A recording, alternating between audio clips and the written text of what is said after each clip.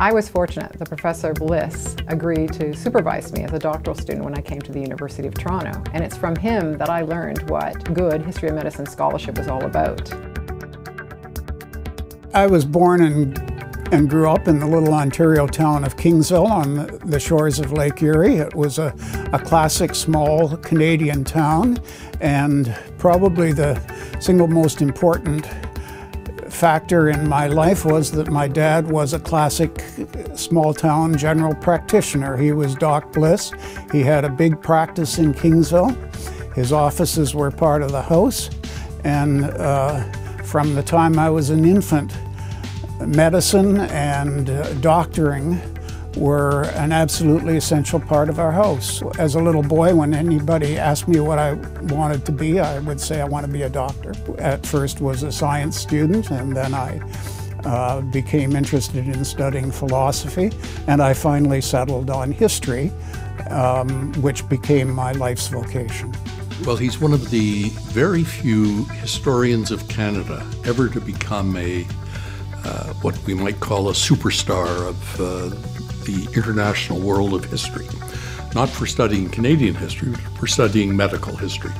At the same time, he's one of the leading historians of Canada. His major reputational contribution, of course, was his book, The Discovery of Insulin, which stands as a landmark contribution in history, medical history, and bioscience. Professor Bliss's tremendous scholarship is what he's most well known for. I think is a tremendous accomplishment in terms of the research and the depth of the detail. I thought that I was writing a book mainly about the struggle for credit among the discoverers of insulin, and that became very much part of the book, and that was an exciting and, and really interesting story. He is a tremendous storyteller in terms of focusing on the individual and the event, but also bringing us into the larger context for the history of medicine world. And I found the insulin story uh, expanding into a great epic in medical history, an epic involving the coming of medicine's ability to offer something like salvation. He's one of the leading public intellectuals in Canada. He's one of the great teachers at the University of Toronto, and he's a superb researcher. He writes well. He's the complete package as a historian.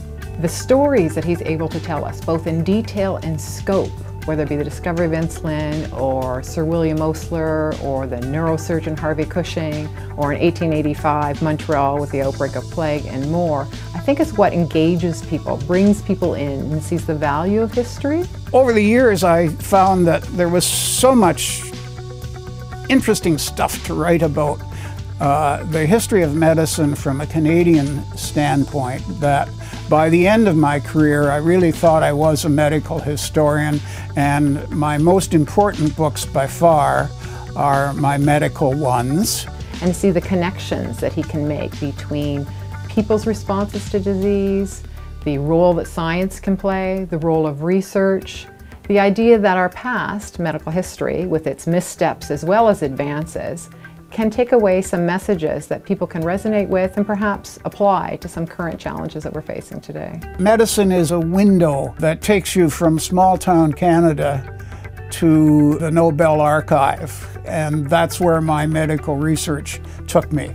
His scholarship most of us can only aspire to writing as well as Professor Bliss does. He brings to life a lot of these events of the past and can make relevance for us today. World renowned scholar, public intellectual, creative writer, and inspiring teacher. Canadian Medical Hall of Fame laureate, Dr. Michael Bliss.